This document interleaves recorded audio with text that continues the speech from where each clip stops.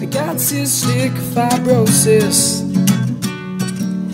See, I've got cystic fibrosis. What's going on, guys? Welcome back to another week of Staying Salty. I am here filming at the beach. Check this out.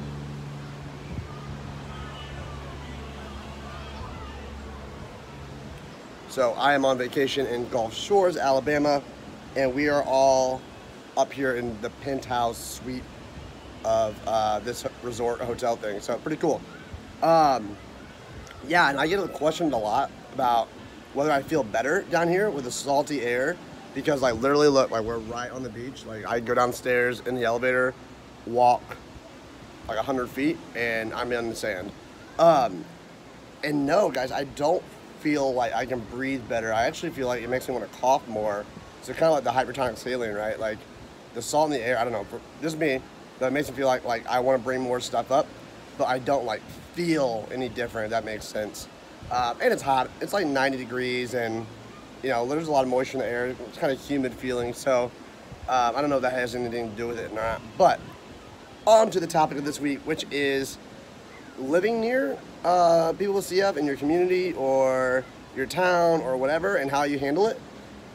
This is probably the shortest video I'm to make, guys, because I don't associate with anybody in my town or community with CF. Um, I know it like my clinic.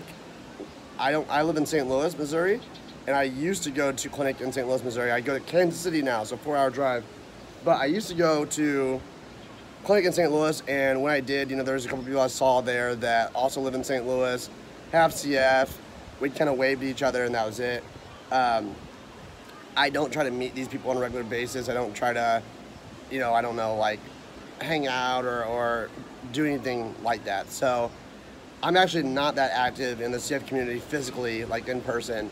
Um, and yeah, just in my area, I, I, don't, I just don't. I don't know how else to describe it. Um, you know, as far as handling it, I've been to fundraisers before, like walks, and did have a problem there. I just kept myself from, you know, the people I was with. So um, I was advertising my app there for CF, and I had my mask on and my t-shirt, all that kind of stuff. I talked to my clinic people, but like I didn't really talk to other CFers. There's a couple people that said hi to me and whatnot, and that was about it. Um, I was at a parade one time, and a guy with CF came running up to me and wanted to introduce himself, and he had CF as well.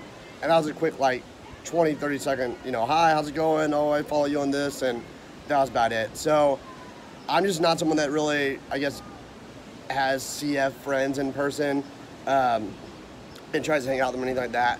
There's a couple of CFers here in the St. Louis area that um, have like helped me out with medicine before. So if I run out and you know, we'll say, oh, do you have any of this? Do you have any of that? And and that's big. Like that's been really beneficial because I was at a point where I didn't have insurance because of my job for a little bit, and um, I couldn't, you know, fulfill like I think it was my Pulmozyme. But I couldn't like fill one of my prescriptions, and and they were able to help me out. So that's a huge plus to being in, a community that there's more than just you that has CF, obviously.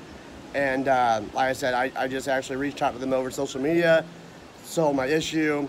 We met, like, I think in a parking lot of somewhere, and they gave me a couple vials or whatever I needed, and that was it. Um, and we just had that connection. You know, there's not, there's not talking. I mean, I don't talk to them on a regular basis, nothing like that. We follow each other on social media, and that's it.